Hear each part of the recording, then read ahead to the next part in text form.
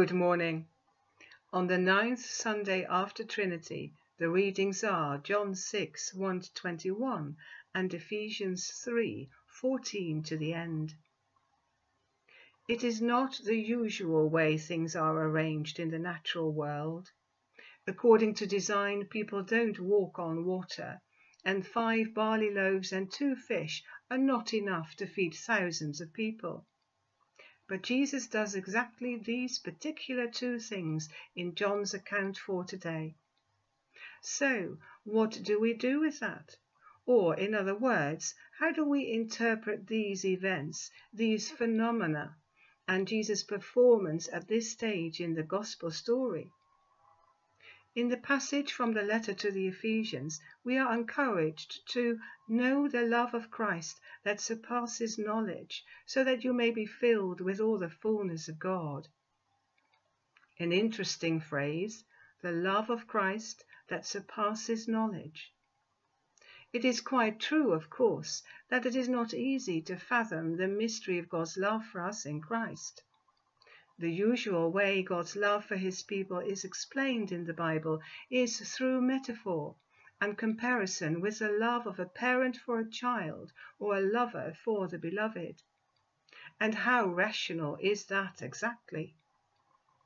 As the song says, you can't see it with your eyes, hold it in your hand.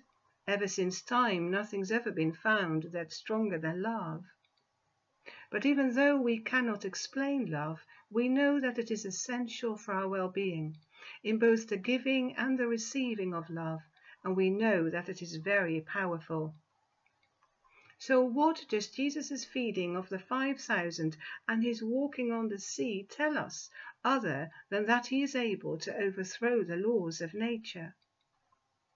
This account in John's Gospel comes after Jesus' teaching about his relationship to God, giving proof of his calling and rebuking those who refuse his offer, saying that those who lack the love of God don't accept the one whom he has sent.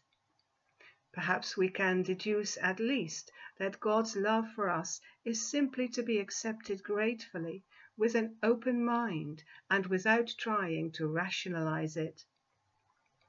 After all, much of John's Gospel is about the challenge of the good news to all existing worldviews and offers a new perspective of God's purpose for us. Something that we cannot deserve or work towards earning it. Of course, the crowds are puzzled, as are we. How does Jesus do it? Even if we have a vague notion of the why, God's love and the revelation of who Jesus is, the how will ultimately escape us. We may ask, does this matter? The feeding of the 5,000 gave the people reason to say, this is indeed the prophet who is to come into the world. It was a recognition of Jesus' identity, if not completely understood. His walking on water, it has been said, can be a theme for meditation. Our lives are full of moments when a storm breaks out, metaphorically speaking, when we are tossed about by the waves and the wind and the journey of life gets rough. As we are struggling through those times, the presence of God may be felt as comforting, but it may also disturb us. Who is this that follows us like a ghost? This event in John's Gospel tells us exactly who this is, and if we allow ourselves a moment to listen, we can hear those words. It is I, do not be afraid. I like the way this passage ends. Then they wanted to take him into the boat, and immediately the boat reached the land toward they were going.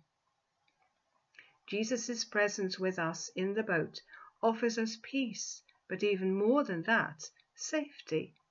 With him on board, we reach the harbour even quicker than we imagined.